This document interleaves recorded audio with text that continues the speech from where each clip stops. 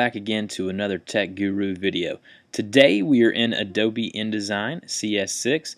I will be showing you how to wrap text around images within your project. So in a lot of projects uh, it may require you to have text and images coincide within the same page. Actually it's going to happen pretty much primarily majority of the time. But a lot of times you want the text and the images to work well together. And in order to not have the page look so blocky where you just have certain areas of text and then image and then text and then image. You may want a text box that wraps around an image or a graphic or a symbol or whatever it may be.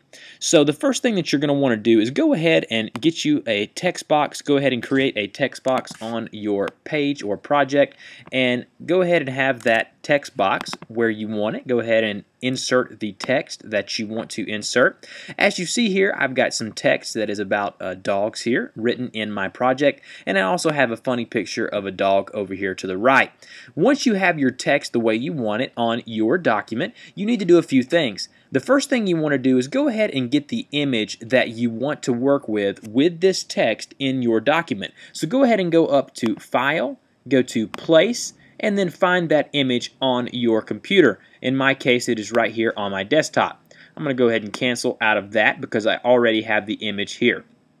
Once all of that is done, you're going to want to go up to Window, all the way down until you see text wrap. Now once you click on this and you see the check mark, you should see the text wrap options on the right or left or wherever it may be. We're going to go into this a little more detail in one minute. So what you want to do is go ahead and place your image on top of the text box or beside it depending on how you want the text to wrap. So I'm going to go ahead and place this image here inside the text box. As you see here, that text went ahead and jumped down here, and it also is up here. So what happened is, once my image was placed on top of this text box, because I have text wrap set up, it allows the text to wrap around my image. So what you want to see here, if it's set to no text wrap. What will happen is the image will just be placed here and the text will either be in front or behind the image depending on how you have the text and image arranged. So in order to have your image and text to wrap, what you're going to want to do on your text wrap options, you have a few options. Wrap around a bounding box, wrap around an object or shape, jump object, or jump to next column. So don't worry about these last two. What you want to do is wrap around object shape. Once you click on that third option of wrap around the object shape, you should see some text wrap happening within your project. Once you have done that and you have selected the wrap around object or shape option here, as I have already stated, you should see some text wrap happening here. Now, there are a few other options that you can play with to kind of make your object or project look a little better.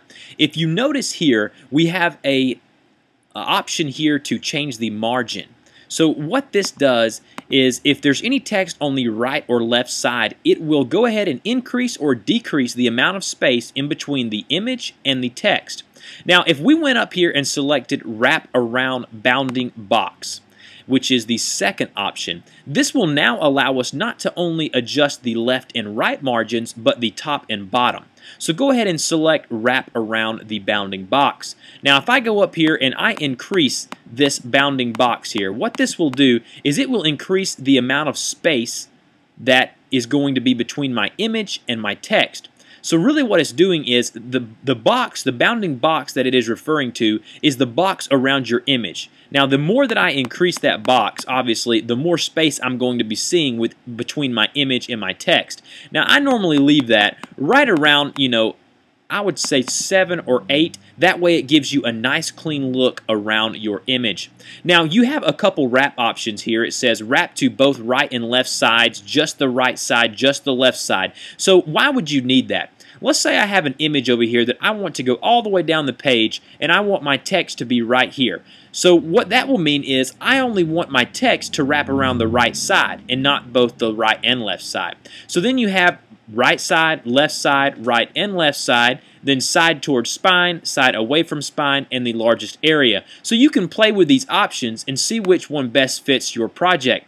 So guys, again, this has been an InDesign tutorial on how to wrap text around images. There are so many more things you can do within this text wrap option. This is just the very, very basics of that. If you have any questions, go ahead and put them in the comment box below. As always, guys, don't forget to rate, comment, like, and subscribe this on these videos. It does help me out, and I will see you guys next time.